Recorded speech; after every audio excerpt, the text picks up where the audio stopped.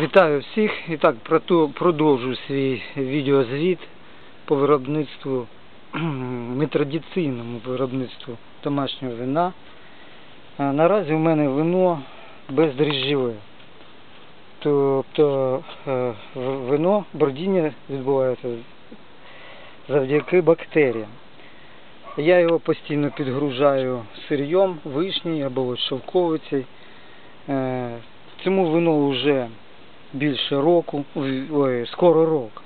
Як рік буде е, торічний сезон, це через е, півтора місяця вже буде рік.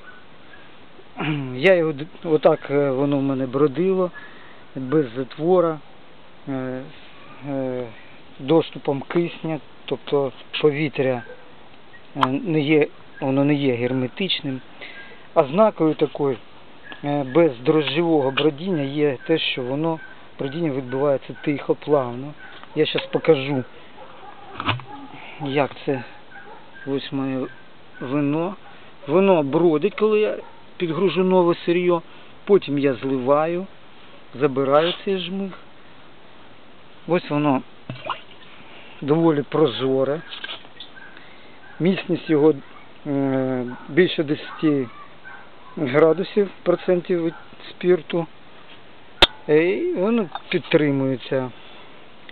Якщо так налити, ви бачите, що нема такого осадку, хоч вино молоде, це як сік. Нема там дріжджів, нема ілу.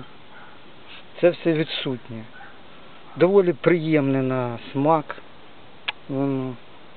Е, такого кольору, воно, тому що це е, виноград у мене був е, темний.